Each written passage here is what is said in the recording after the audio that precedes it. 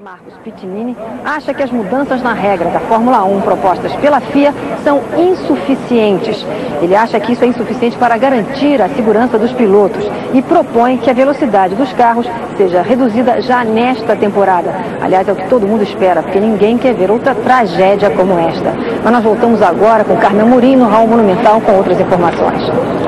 Nesse momento cresce o número de fãs que vêm prestar a última homenagem ao herói Ayrton Senna aqui em São Paulo, na Assembleia Legislativa.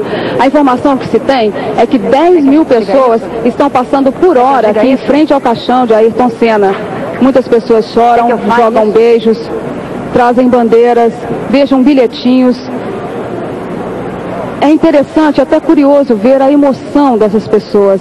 Não dá para controlar. As pessoas chegam aqui, passam rapidamente, mas choram muito quando se aproximam do caixão de Ayrton Senna. Até agora, 90 mil pessoas já passaram por aqui, mas a expectativa é de que 200 mil pessoas venham se despedir de Ayrton Senna até amanhã às 8 horas da manhã, quando o corpo do ídolo Ayrton Senna deixa a Assembleia Legislativa de São Paulo e segue para o cemitério Morumbi. É com você, Márcia. Nós temos uma informação que o presidente Tamar Franco já está aqui nas dependências da Assembleia. Nós temos o repórter César Galvão, que entrevistou o presidente antes. Presidente, nesse momento, está do lado do caixão, do caixão ao lado do governador de São Paulo, Luiz Antônio Fleury Filho. O presidente está comovido, sério. Aliás, como chefe de Estado, ele veio aqui dar suas condolências à família, prestar homenagem a esse grande campeão, a esse ídolo nacional.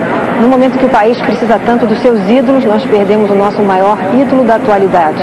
Realmente é um momento triste que isso tenha acontecido justamente agora mas enfim serve para um momento de reflexão. Está também ao lado, perto do presidente, velando o corpo de Ayrton Senna, também o prefeito de São Paulo, Paulo Maluf. As autoridades todas vieram prestar essa homenagem ao lado do presidente Damar Franco. Nós podemos ver aí no canto da tela o irmão Leonardo, irmão de Ayrton Senna. Em cima do caixão, o capacete do nosso herói, dá a impressão de que ele nunca parou de voar é, em cima da bandeira brasileira, cheia dessas estrelas, que nós poderemos dizer que são as lágrimas do povo brasileiro, que tem vindo aqui emocionado prestar as suas homenagens. É realmente um momento de muita consternação no país. Infelizmente, como dizem as crianças hoje em dia, por que levar o nosso Ayrton Senna? Aliás, eu recebi até algumas cartas de criança hoje, justamente se perguntavam isso um momento como esse, porque o nosso Ayrton Senna foi tirado.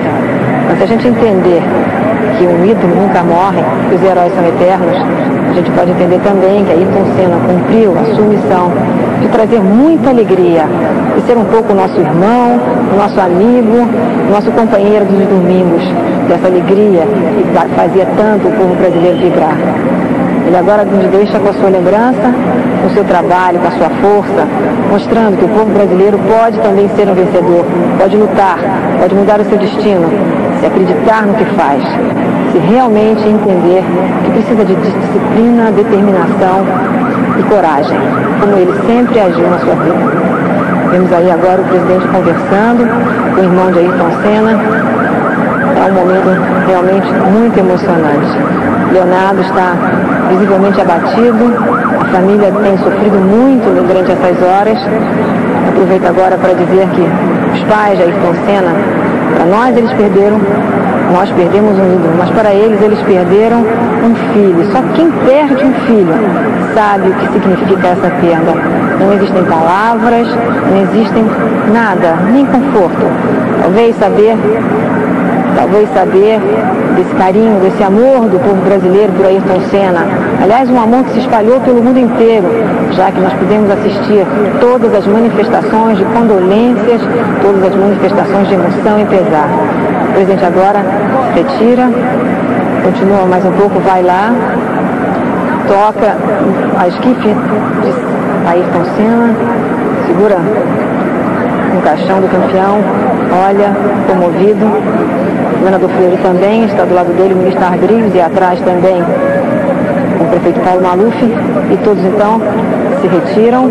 Está também Dona Silvia Maluf, acompanha ali o cortejo, o presidente Itamar Franco está se dirigindo para a sala das autoridades. Vai cumprimentar os pais de cena, o pai Milton e a mãe Neide, que se mantêm recolhidos nesse momento já que se passam muitas horas dessa emoção e amanhã teremos também um dia bastante emocionante aqui em Norte, tem que acabar. A perda de Ayrton Senna foi algo irreparável para nós brasileiros. E por causa da determinação da polícia de impedir o acesso dos fãs ao cemitério do Morumbi, onde o corpo de Senna vai ser enterrado amanhã, a multidão aproveita o velório para fazer o seu último adeus ao grande ídolo. Uma multidão emocionada está vindo aqui ao velório. É incrível a emoção, a emoção dos fãs que chegam aqui à Assembleia Legislativa. Paulo, os fãs estão emocionados. É uma homenagem ao herói, ao ídolo Ayrton Senna, e essa homenagem é feita de forma muito carinhosa. Mas muita gente não resiste, passa mal quando chega perto do caixão do ídolo Senna. É bom lembrar que nós temos aqui na Assembleia Legislativa uma equipe de plantão formada por 10 médicos, seis enfermeiros e também 14 ambulâncias. E o pessoal não para de trabalhar. Cada hora uma fã desmaia quando passa em frente ao caixão do ídolo. São beijos que, que essas fãs deixam aqui para Ayrton Senna, bilhetinhos, choram. Quer dizer, a cada momento a gente vê que o fã não está resistindo desde domingo nessa emoção toda. É com você, Márcia. Pois é, como a Carmen disse, a emoção é permanente aqui. O Brasil acordou mais cedo para receber o corpo de Ayrton Senna. A emoção é tão grande que as pessoas passam chorando tão, tão alto aqui perto, onde nós estamos transmitindo o Jornal da Manchete, que chega a ficar difícil conter a emoção. E a emoção também tomou conta de todos quando o avião trazendo o caixão pousou no Aeroporto Internacional de Cumbica, em Guarulhos, São Paulo. Desde cedo, a expectativa era grande no Aeroporto Internacional de Cumbica. Populares e autoridades aguardavam o avião que traria da Itália para o Brasil o corpo de Ayrton Senna. Às 6 horas e 12 minutos, o voo 723 da Varig tocou o solo brasileiro. Ayrton Senna retornava para receber a homenagem dos fãs. A emoção foi incontrolável. Todos queriam dar o último adeus ao tricampeão. O caixão com o corpo do piloto foi retirado do avião e colocado num carro com sistema elevatório. As cenas de tristezas continuaram. O caixão coberto com a bandeira brasileira foi conduzido ao caminhão do Corpo de Bombeiros por seis cadetes da Polícia Militar. Várias autoridades estiveram no local para receber o corpo entre elas o prefeito de São Paulo, Paulo Maluf, e o governador do estado, Luiz Antônio Fleury Filho. O cortejo começou a deixar Cumbica. A população aplaudiu. A comoção era geral. Esta mulher, junto a uma das grades, chorou convulsivamente. O cortejo seguiu em direção à rodovia dos trabalhadores. As pontes ao longo do percurso ficaram cheias. O povo se ajeitou como pôde para se despedir do ídolo. As motos se misturaram aos populares. Até mesmo o trem do metrô parou em honra a Ayrton Senna. O cortejo ganhou as ruas centrais de São Paulo sob aplausos. Os cavalarianos se juntaram à homenagem.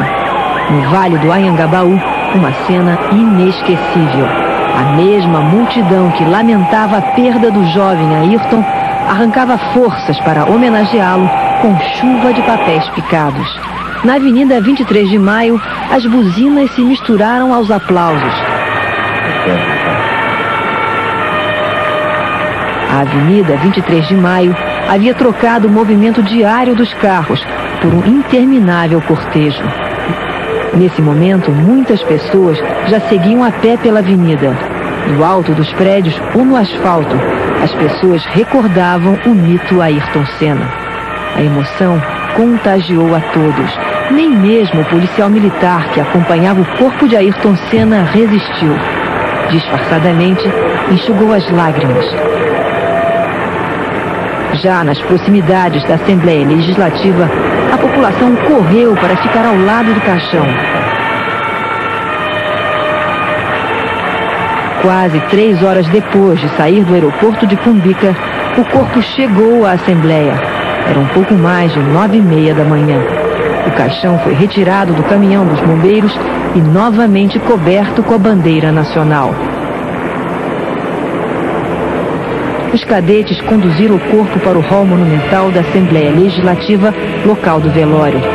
A família pôde então reencontrar Ayrton Senna da Silva.